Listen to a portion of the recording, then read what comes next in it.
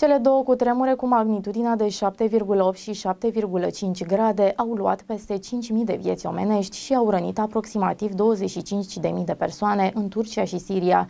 Cum ne pregătim pentru o asemenea catastrofă? Este imposibil să știm când va lovi un nou cu tremur și unde, însă tot există ceva ce poți face înainte de a fi cu tremur, în timp ce acesta se manifestă și după ce zdruncinăturile s-au încheiat, pentru ca tu și cei dragi ție să fiți în siguranță și să vă reveniți mai ușor. Ai grijă ca locuința ta să nu fie un pericol în sine. Ce înseamnă mai exact acest lucru? Iată ce trebuie să faci. Asigură mobilierul mare și greu și anumite obiecte masive. Bibliotecile, boilerele, televizoarele pot fi prinse în perete cu șuruburi speciale, astfel încât să nu cadă în capul cuiva atunci când raftul pe care stau anumite obiecte sau întreaga piesă de mobilier începe să se zdruncine. Lucrurile mari, grele și instabile trebuie puse cât mai jos și undeva cât mai departe de ușile sau căile de acces. Identifică locurile sigure. Vezi unde te poți adăposti în fiecare cameră în caz de nevoie. Trebuie să fii sub un birou sau masă. Făți un plan. Asigură-te că de fiecare dată un om din casă știe cum să acceseze depozitele de urgență în caz de dezastru, pe cine să sune când e cu tremur și unde să se întâlnească cu alți membri ai familiei sau persoane apropiate. Făți rezerve, făți un rucsac cu o sticlă de apă și o trusă de prim ajutor în casă, dar și una mai mică pentru mașină, serviciu sau alt loc frecventat des și în care te poate prinde cu tremurul. În afara lucrurilor care sunt ție specifice, vreun tratament pentru alergii sau eventuale boli,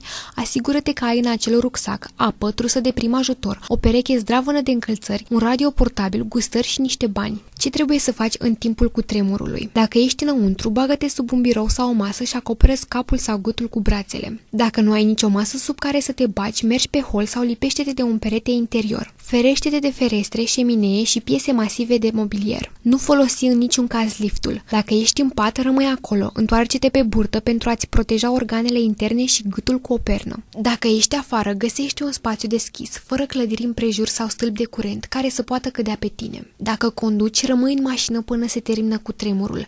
Nu te opri sub poduri, copaci sau orice altceva ce poate cădea pe mașina ta sau pe tine. Dacă ești la munte, ferește-te de stânci și alunecări de pământ. Dacă ești lângă un ocean, îndepărtează-te pentru că se poate declanșa un tsunami. După cutremur, verifică situația în care te afli.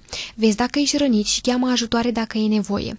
Uită-te în jur ca să te asiguri că pericolul a trecut și nu mai poți păți nimic din cauza lucrurilor distruse de lângă tine. Poartă cizme sau încălțări rezistente ca să poți călca fără probleme pe cioburi și obiecte sparte. Cheamă ajutoarele dacă e nevoie. Dacă ești acoperit de ceva, închide gura, pune mâna pe nas și pe ochi ca să nu-ți intre praful. Trimite un mesaj dacă poți sau fă gălăgie apoi ca să te audă salvatorii. Pregătește-te pentru replici. Replicile unui cutremur pot fi la fel de puternice precum cutremurul în sine. Relatează click pentru femei.ro